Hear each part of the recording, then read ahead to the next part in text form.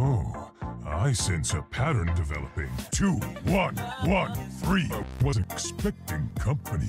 I can't wait to see you all in action. We've got the right stuff. That's one small step from me.